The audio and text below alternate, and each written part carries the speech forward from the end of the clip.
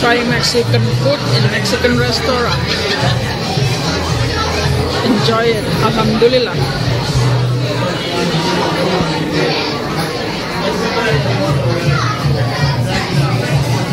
Look at that how crowded is this place.